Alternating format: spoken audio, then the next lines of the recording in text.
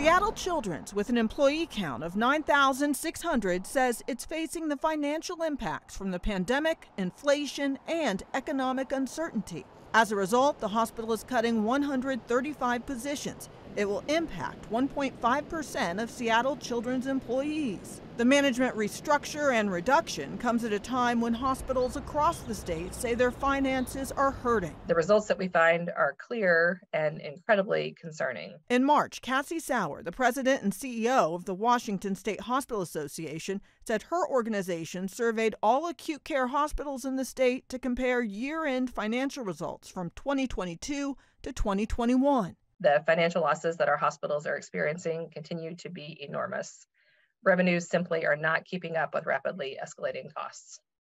It's most concerning as these large losses are putting patient care at risk in many communities across the state.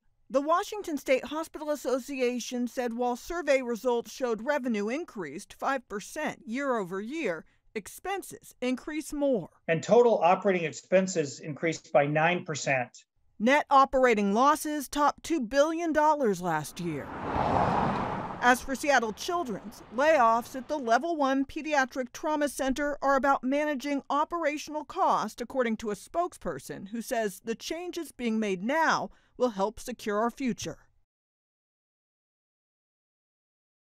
Happening at a busy hospital. There were more than 391,000 patient visits here last year, and the hospital does serve Washington, Idaho, Montana, and Alaska. That's the largest region for a children's hospital in the country.